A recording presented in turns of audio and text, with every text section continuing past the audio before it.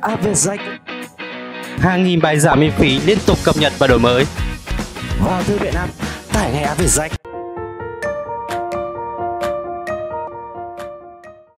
Hello everyone, chào mừng các em đến với Skills 1 của Unit 6 Outtake Holiday. Đầu tiên chúng ta sẽ đến với phần Reading, phần đọc. Chúng ta có bài 1 Children in different countries are talking about their new year. Read the passages.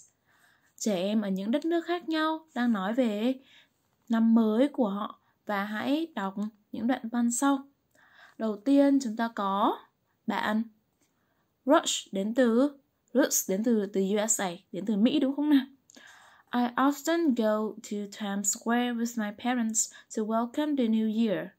When the clock strikes midnight, colorful fireworks light up the sky. Everybody around begins to cheer and sing happily. I love that moment so much. Tớ thường đi đến quảng trường thời đại với bố mẹ để chào mừng năm mới. Khi mà đồng hồ điểm giữa đêm, những cái pháo hoa sặc sỡ sẽ làm sáng cả bầu trời và tất cả mọi người xung quanh bắt đầu chúc mừng và hát rất là hạnh phúc và tớ yêu cái khoảnh khắc đấy rất là nhiều tiếp theo sẽ là bạn Wu đến từ China, Trung Quốc. I love the first day of the new year most. After getting up, we dress beautifully and go to the main room. There, my grandparents sit on a sofa. We bow and say our wishes to them.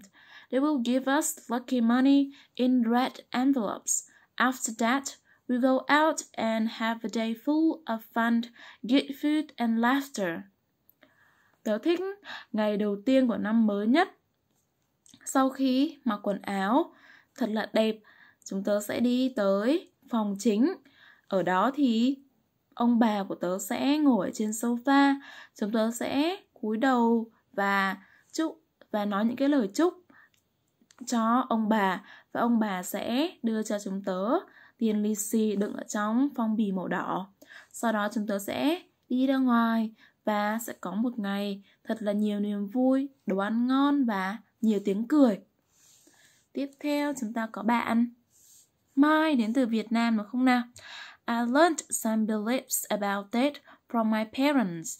At that, people pres- people present rice to wish for enough food, red fruits for happiness. Dogs are lucky animals. Their barking sounds like gold. But one shouldn't present a cat because its cry sounds like the Vietnamese word for poverty. Don't eat shrimps. They move backwards and you will not succeed in the new year. Tớ đã học được một vài những cái niềm tin về ngày Tết từ bố mẹ của tớ. Những cái à những tín ngưỡng về ngày Tết từ bố mẹ của tớ.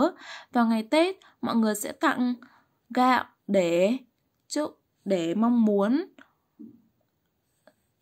để mong muốn sẽ có đủ đồ ăn ngon à, và sẽ tặng hoa quả màu đỏ để mong muốn hạnh phúc. Chó được coi là loài động vật may mắn tại vì tiếng sủa của chúng nghe như là vàng vậy. Nhưng mà một người thì không nên tặng mèo tại vì tiếng khóc của mèo nghe như là một từ một từ trong tiếng Việt có nghĩa là nghèo đói và cũng đừng ăn tôm, tại vì tôm thì di chuyển ngược về phía sau và bạn sẽ không thể nào thành công trong năm mới được. Vậy là chúng ta vừa đọc và cũng đã dịch xong bài số 1 rồi. Tiếp theo chúng ta sẽ sang bài số 2 nhé. Và số 2 là, Say who the following statements refer to. Number one is an example. Em hãy nói những câu sau định thì, đề cập đến ai. Và câu số 1 là một ví dụ. Chúng ta có, A dog is a good present. Một chú chó là một món quà tốt. Người nói câu này là, My, see Tiếp theo chúng ta sẽ đến với câu số 2 nhé. The child welcomes the new year at Times Square. Trẻ con thì đón năm mới ở quảng trường thời đại. Câu số 2 sẽ là Ruth đúng không nào? Bạn Ruth sống ở Mỹ và hay đón năm mới cùng với, cùng với bố mẹ ở quảng trường thời đại. Tiếp theo là câu số 3. The child gets lucky money. Trẻ con thì sẽ được tặng tiền lì xì, đúng không nào? Được cho tiền lì xì. Câu số 3 sẽ thuộc về bạn Wu. Câu số 4. Giving rice is wishing for enough food. Tặng gạo có nghĩa là đang ước có đầy đủ thực phẩm, đúng không nào? Đầy đủ đồ ăn.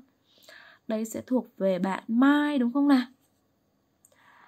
Câu số 5. The child dresses beautifully. Trẻ con thì mặc rất là đẹp.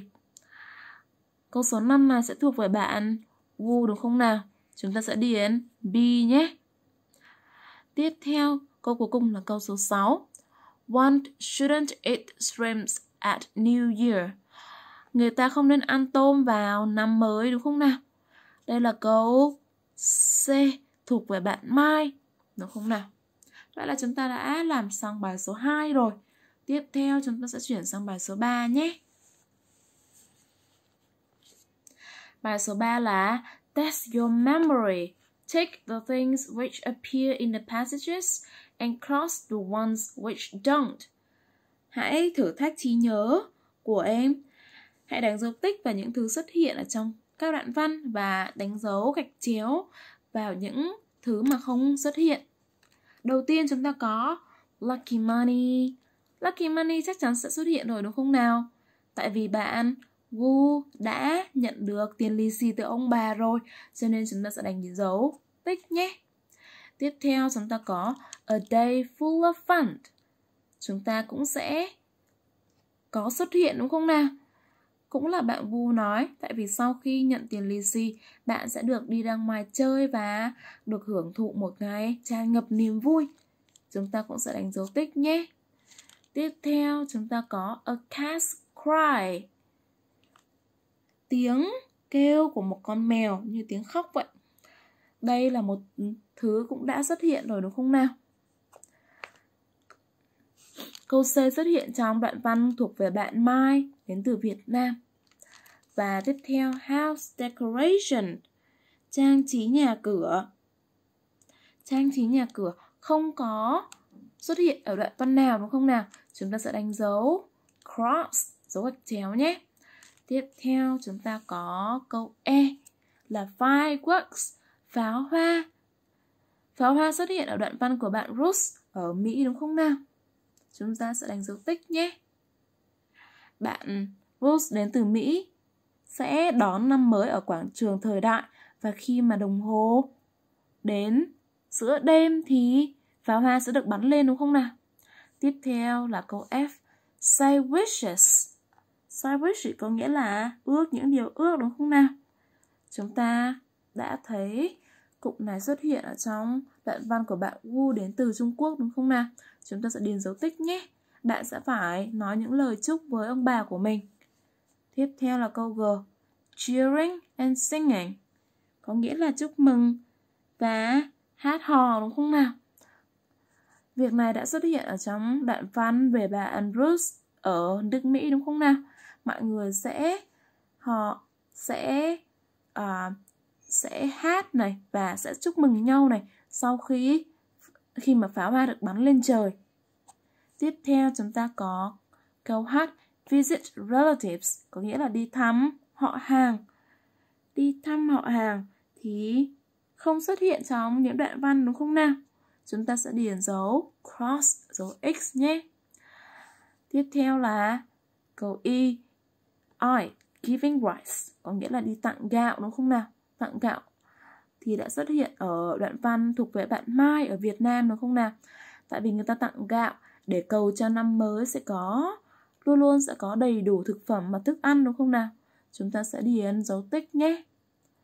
Và tiếp theo chúng ta sẽ đến câu cuối cùng sẽ đó là Trafalgar Square, quảng trường Trafalgar. Chúng ta chưa từng thấy cụm từ này xuất hiện ở trong những đoạn văn ở bài 1 đúng không nào? Cho nên chúng ta sẽ đánh dấu cross, dấu gạch chéo nhé. Vậy là chúng ta đã làm xong bài số 3 rồi. Và đấy cũng là bài cuối cùng của phần reading. Tiếp theo chúng ta sẽ sang phần speaking nhé. Tiếp theo chúng ta sẽ sang phần speaking. Chúng ta có bài 4. The following practices and beliefs are from the passages in 1.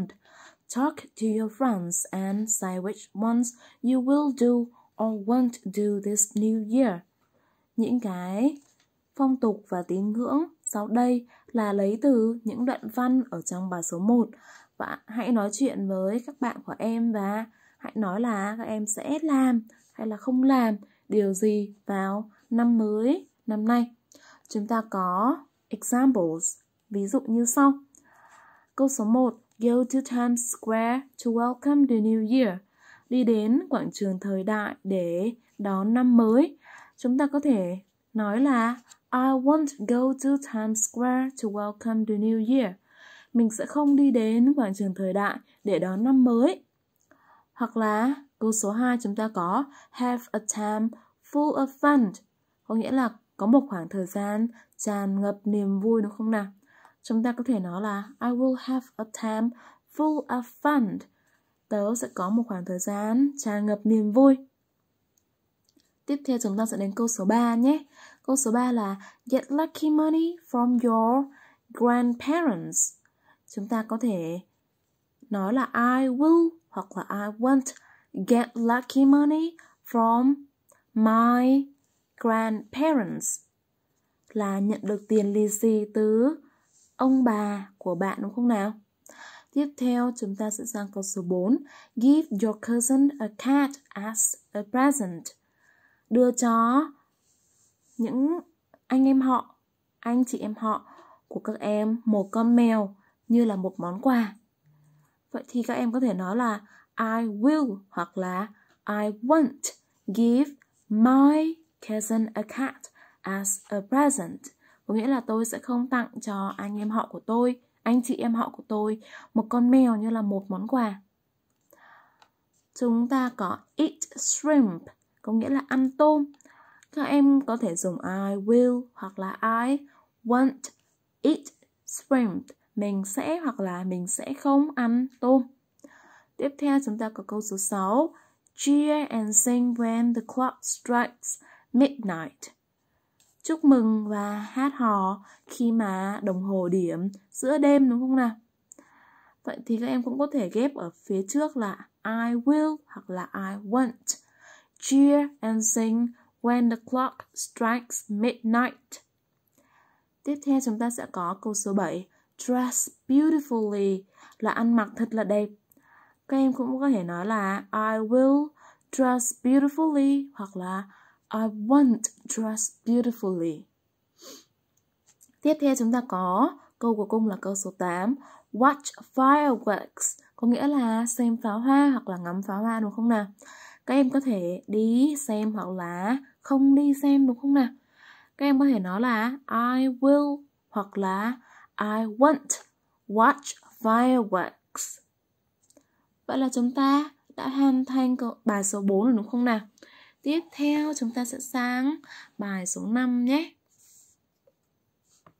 Bài số 5 chúng ta có Work in groups. Write two popular beliefs, you know about the new year, and tell your partners. Hãy làm việc theo các nhóm và hãy viết hai tín ngưỡng phổ biến mà các em biết về ngày, về năm mới và hãy nói với bạn của các em. Cô có hai tín ngưỡng ở đây. Tín ngưỡng số 1 chính là Do not eat squid because squid ink is black, which res represent bad luck. Không được ăn mực tại vì mực của mực thì có màu đen đúng không nào? Và điều này tượng trưng cho những cái điểm xấu. Và Belief 2, tín ngưỡng số 2 chính là Wear light colored clothes to receive more luck in the new year. Hãy mặc những cái quần áo mà sáng màu để có thể có nhiều uh, sự may mắn hơn vào năm mới. Các em có thể các em có thể viết về bất cứ những cái tín ngưỡng nào mà các em biết nhé. Tiếp theo chúng ta có Bài số 6 Chúng ta có Look at the list. Discuss with your friends what you should or shouldn't do at date. Hãy nhìn vào cái danh sách ở phía sau đây và hãy thảo luận với bạn của các em là các em nên làm và không nên làm những điều gì vào ngày Tết. Chúng ta có một bức tranh minh họa ở đây. Một bạn đang cố gắng ăn một cái bánh trưng đúng không nào? Rất rất rất là to. Và bạn còn lại nói là Hey, you shouldn't eat all the cake. Này, bạn không nên ăn hết cả một cái bánh đấy đâu. Tại vì nếu mà mình ăn hết một cái bánh trưng to như thế này thì rất có khả năng là sẽ bị đau bụng đúng không nào? Đau bụng hoặc là khó tiêu. Tiếp theo chúng ta hãy nhìn vào example, ví dụ ở đây nhé. Bạn A nói là We should get up early. Chúng ta nên dậy sớm. Bạn B nói I agree, but we shouldn't play games all night. Tớ đồng ý, nhưng chúng ta không nên chơi trò chơi suốt cả đêm. Và bạn C nói tiếp No, we shouldn't. We should invite friends home, shouldn't we? Đúng vậy, chúng ta không nên chơi game suốt cả đêm được không nào? Chúng ta nên mời bạn về nhà, đúng không? Và bạn D trả lời, Yes, I think we should.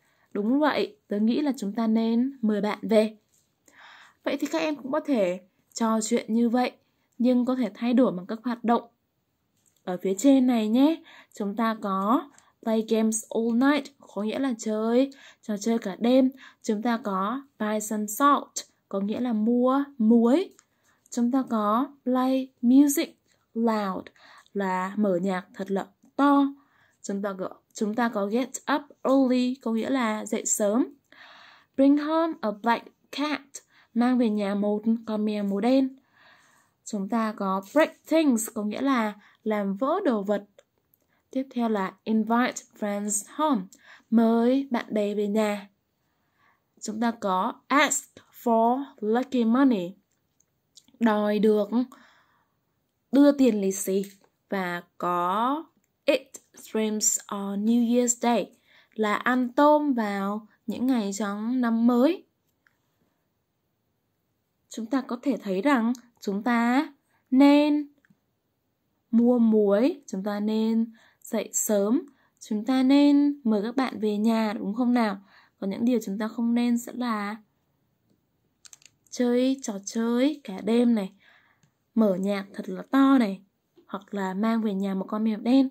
Tại vì trong văn hóa của người Việt, mèo đen là tượng trưng cho điềm rủi, không phải là, không phải là một sự may mắn. Break things có nghĩa là làm vỡ đồ vật, chúng ta không nên làm vỡ đồ vật, đúng không nào? Chúng ta không nên hỏi được đưa tiền lì xì. Chúng ta nên để người lớn tự động đưa tiền lì xì cho chúng ta chúng ta không nên đòi hỏi được tiền lì xì nhé. Tiếp theo sẽ là eat, shrimp on New Year's Day, ăn tôm vào ở những vào ngày năm mới thì chúng ta cũng không nên nhé. Vậy là chúng ta đã làm xong bài số 6 rồi đúng không nào? Bài số 6 cũng chính là bài cuối cùng của Skills 1 của Unit 6 Outdated Holiday. Cô sẽ hẹn gặp các em ở trong những video phía sau nhé. Chào tạm biệt các em. Khóa học về rách Sự lựa chọn của hàng triệu phụ huynh và học sinh Trải nghiệm ngay khóa học của Việt Sách.